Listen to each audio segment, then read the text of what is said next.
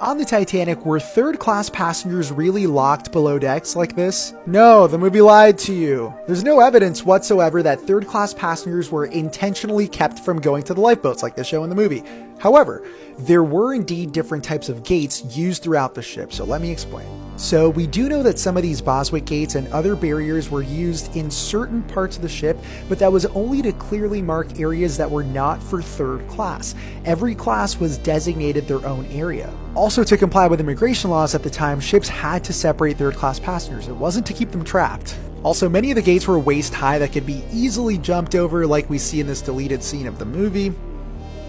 Also, in an emergency, third class had access to first and second class stairwells. This is Scotland Road leading into the first class area. That being said, it was much harder for third class to get up to the boats because they had to navigate this maze of corridors. And many who did make it up found that by the time they got there, the majority of the boats were already gone.